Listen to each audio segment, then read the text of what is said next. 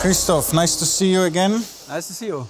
So, first of all, could you introduce yourself and your role in CLPA? Yes. Yeah, my name is uh, Christoph Behler.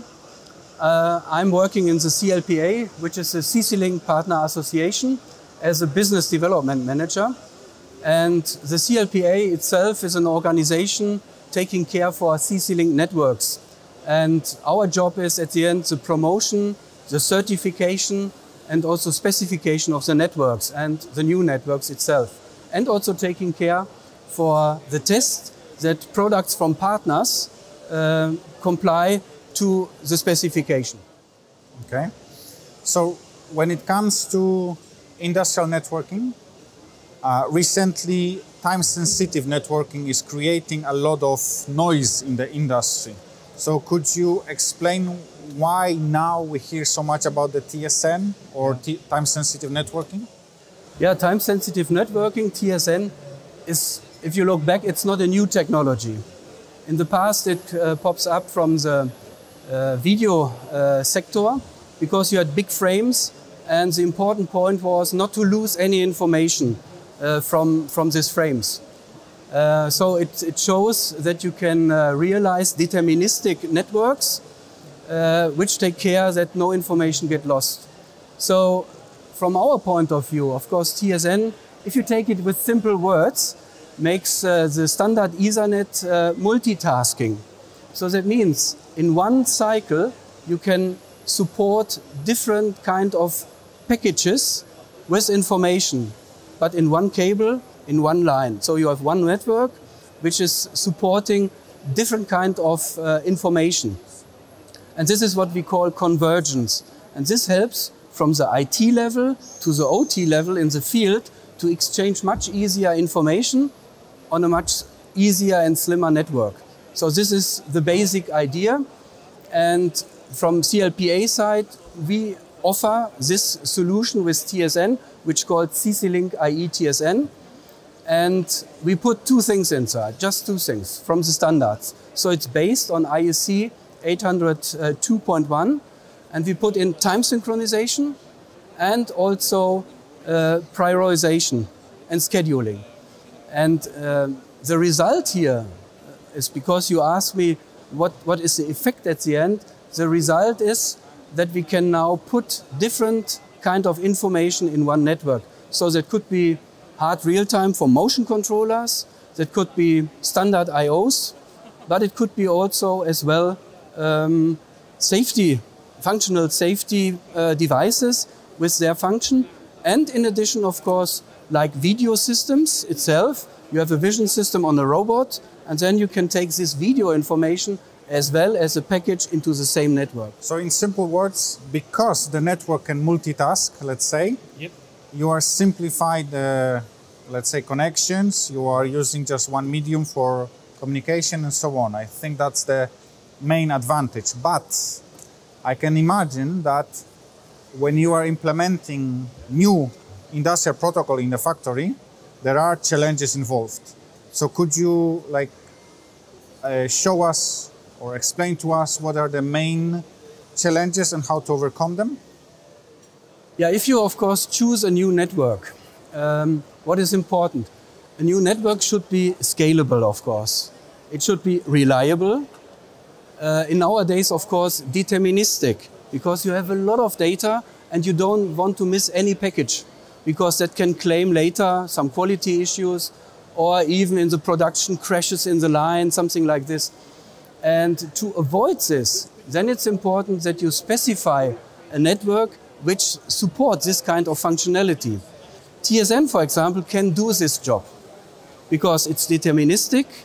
It can also be scalable and flexible because even if you have a system, let's say with five remote stations, but even up to 120 stations with just motion controllers inside. So it's extremely flexible and you can guarantee uh, then in an easy way um, that the function which you would like to have, to have it in one network. One network is also an important point because you slim down your architecture. Means less components for, how to say, the network itself. In the past you had parallel networks, one for motion high speed and in microseconds. The other one was TCP/IP communication, safety, and then I/O communication. Now you have all in one network. That means slim network, and also you have a transparency because every network's um, device offers an IP address, and from the IT you can route down into the system.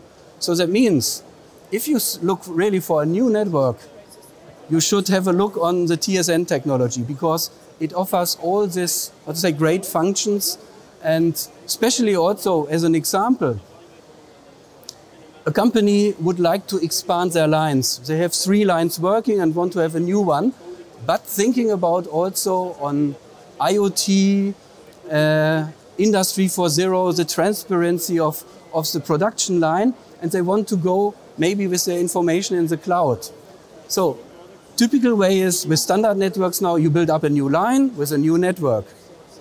Here, we have the chance, because of this uh, multitasking possibilities, let's say like this, to implement existing lines with their IP-based protocols, and we can route this information in the TSN network. So that means for retrofit, it's the perfect network. So in simple words, because the, the protocol itself allow you to do many different things, then your network structure is much simplified. And that's the main goal. So you're reducing the amount of wiring, reducing the amount of components and so on. Yeah? And transparency. Maybe also an example compared past to current new technology, TSN based. In the past, you had the controller and below the controllers the devices. And if you want to send information to the IT, then you had to map the information in the controller. Of course, you can do it like this, but with the new technology, you can go through the IT, uh, from the IT level to through TSN network into the IP device itself, because he has an IP address, and he can be addressed directly. And you can take information. You can have also access via web server in the product and set up something, parameterize, or even take historical data it's extremely flexible. Well, the TSN already is a well. You said it's not new, but basically it, it is now in the uh, let's say in the rise on the rise, and uh, it's it's being uh, implemented in different factories. But what's the future? So in in these conversations, I try to also understand what's coming. So, in your opinion, what's the future of the industrial networking? Yeah, of course, what, what we see is here with the, T, for example, with TSN technology, uh, at the moment from the CLPA view, we are the first in the market coming with, with TSN functionality, with gigabit and also the TSN function just in one network. So that means we can handle amount of data. I said it's not new, but uh, just saying, we introduced it four years ago, and right now other organizations also thinking about this TSN function, work on it, but haven't released it right now. So we are the first. And we have a big portfolio available. This is also important just to mention. But coming back, you asked what is the future. I explained some, how to say, advantages, even good points for the, for the customers, for the end users, for OEMs and system integrators. But the point is also, if you look to the future, there is strongly the IIoT support should be inside. Also, of course, you know here from German and European market, Industry 4.0 is strongly uh, supported. So that means the connection between cloud, local cloud, and also the OT level. That means the field level where you do the operation in the field, the, the manufacturing. This is an important point to support. On the other hand, of course, um, you get a lot of data because of this. And you are capable now, for example, with TSN to support it. But you get a lot of data and you have to qualify this data. This is an important point.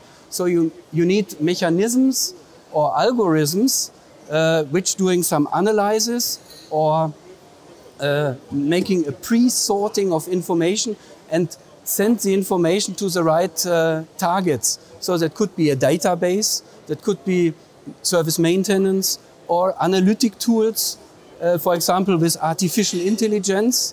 A lot of startups working with this artificial intelligence and offer their services to, to the production uh, facilities. And one strong point also from TSN is each information has a timestamp. And that means you can look historical wise back when an error occurs or an alarm, and then you have it in the right direction. That means artificial intelligence can take this information and work out, it, out of it, make the analysis, and give an advice maybe back to the machine. So that means analytics and control becomes now together with this uh, strong network functionalities as I explained before. So there are a lot of um, uh, decision making happens closer to the production side, and that's the trend that you see in future. Yeah? Yes, this is correct. Genau. Okay. So maybe last question from my side. What is your number one advice to the manufacturing companies? Oh, this is a good question. Yeah, I, I think an important point is now, if you look to the future, you, you should, how to say, study the TSN technology. You should study what is needed, of course, in this direction of IIoT and Industry 4.0. And um, I think if you study and you look uh, for, for good decisions, of course, you can ask us as CLPA. We offer informations to this. We are capable to, to give you hints. And the good thing is also with the TSN technology, we have running applications in the car industry, in the food and bev industry, in LIB, lithium battery, and also in uh, typical production and so on. So we can, how to say, help and support the people to find the right decision and make decisions. Okay, Christoph, that was very nice. Thank you very much. And Thank you very much. Talk to you next time. It was nice to meet you here. Yeah. Thanks for your time.